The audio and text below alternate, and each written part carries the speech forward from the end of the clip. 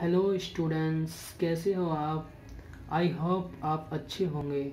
और आप सभी का स्वागत है आपके अपने YouTube channel all in one में।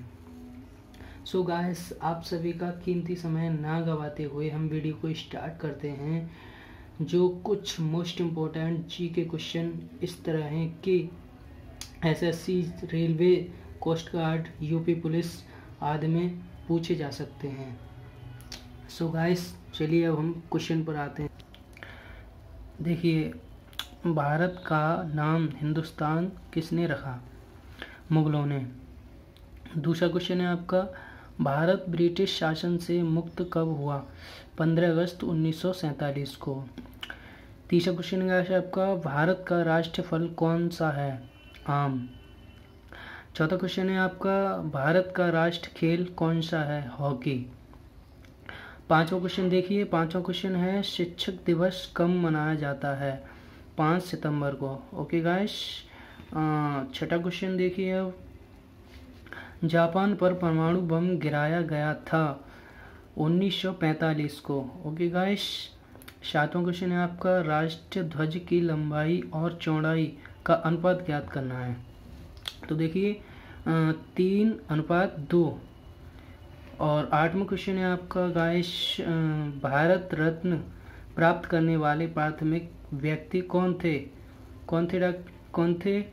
डॉक्टर परवल्लवी राधा कृष्ण ओके? नौवा क्वेश्चन देखिए, संसार की सबसे लंबी नदी कौन सी है?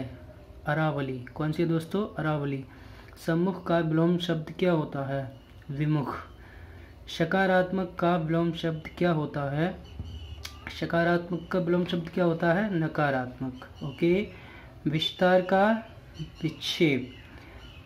जो सब कुछ जानता है, सर्वज्ञ, मौलिक का लिखित, पुरुष एवं स्त्री के जोड़े को क्या कहा जाता है?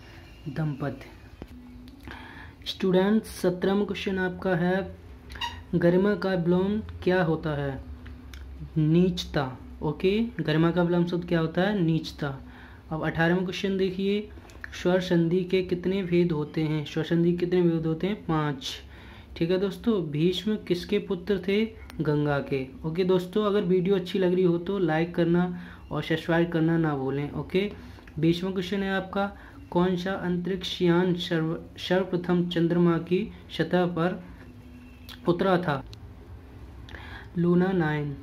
इक्कीसवा क्वेश्चन है दोस्तों आपका, अजंता गुफा, संख्या ए, सत्रह एवं उन्नीस का निर्माण किस काल में करवाया गया था?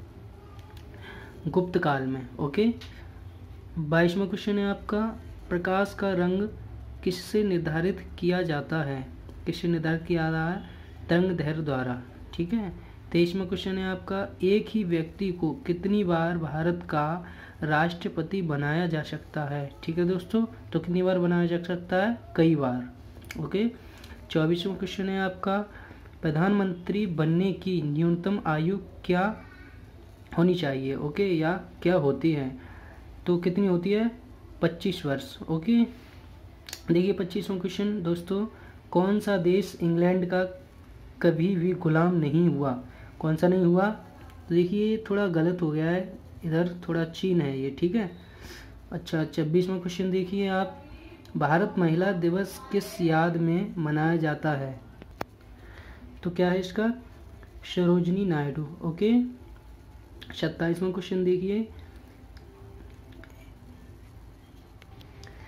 हीमोग्लोबिन की कमी से कौन सा रोग होता है? कौन सा होता है? एनीमिया, ओके दोस्त? अट्ठाईसवा क्वेश्चन है आज आपका। भारत में सबसे ज़्यादा दूध किस राज्य में उत्पादित होता है? किस राज्य में होता है? उत्तर प्रदेश में। उनतीसवा क्वेश्चन है आपका। गांधी महात्मा की उपाधि किसने दी थी? रविंद्रनाथ टैगोर ने। ओके? तीसवा क्वेश्चन देखिए। संविधान का संगठन कब किया गया था? कब किया गया था? उन्नीस सौ छियालीस ईस्वी को। ओके दोस्तों इकतीसवा क्वेश्चन देखिए कि भारत संविधान ने राष्ट्रीय ध्वज के डिज़ाइन को कब अपनाया था? तो कब अपनाया था? जुलाई 1950 को। ये very very most important question है दोस्तों। इसको आप याद कर लीजिए। और ये क्वेश्चन मोस्ट इम्पोर्टेंट है। ये देखिए, बत्तीसवा क्वेश्चन भारत के प्रथम गवर्नर जनरल का क्या नाम था? तो क्या नाम था? William Bentinck. ओके दोस्तों, विलियम बैटिक। तेईसवा क्वेश्चन देखिए। तैतीसवा क्वेश्चन जहाँ सांची का श्लूप कहाँ स्थित है? मध्य प्रदेश में। चौंतीसवां क्वेश्चन है। रामेश्वर तीर्थ कहाँ स्थित है? तमिलनाडु में। ओके दोस्तों स्वर मंदिर कहाँ स्थित है? स्वर मंदिर कहाँ स्थित है? अमृतसर में। ओके? कहाँ स्थित है? अमृतसर में। कैलाश मंदिर कहाँ स्थित है? एलोरा एलोरा महाराष्ट्र में। ओके? कहाँ स्थित है? एलोरा महाराष्ट्र में। सोमनाथ मंदिर कहाँ है? इसका क्या है?